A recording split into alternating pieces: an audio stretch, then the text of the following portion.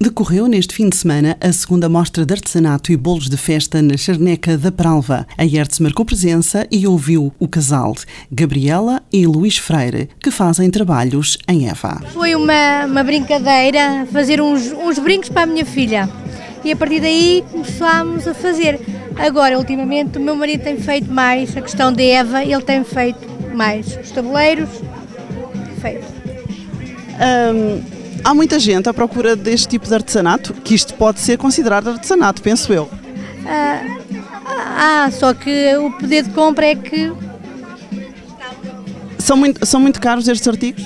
Não, não são devido que tem muita mão de obra, não é? Embora o material seja barato, porque são feitos a maior parte com EVA, que é um material barato, mas que tem o seu. demora o seu tempo a elaborar um, um trabalho, não é?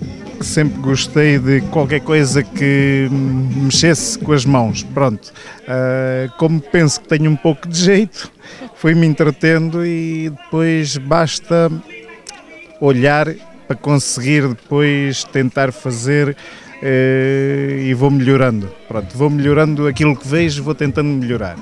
Em que é que se inspira para fazer estas figuras todas? Olha, ultimamente com os nossos bonecos portanto, a, a imitar o, o, par do tabuleiro trajado, uh, foi por pertencer também a uma junta de freguesia e já ter participado pela, pela própria uh, nas festas do, dos tabuleiros, uh, comecei por tentar inventar um bonequinho de forma a que fosse o mais parecido possível.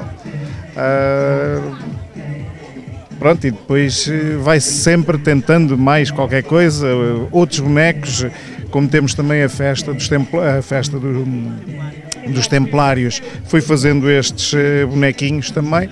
Tiveram alguma saída quando foi da festa dos Templários também, pronto. Posso saber o que é que faz na vida? Presentemente nada, a não ser isto. A não ser isto, Infelizmente é assim, mas. Dá para viver com isto, não. Com isto, não. Então, como é que vocês eh, funcionam em matéria de. Felizmente, eu tenho um emprego e vou eh, ajudando, não é? Tem que ser. E isto é uma terapia boa para ele, principalmente para ele. Bem precisa. Isto é uma terapia, até para mim, não é? É uma terapia muito boa.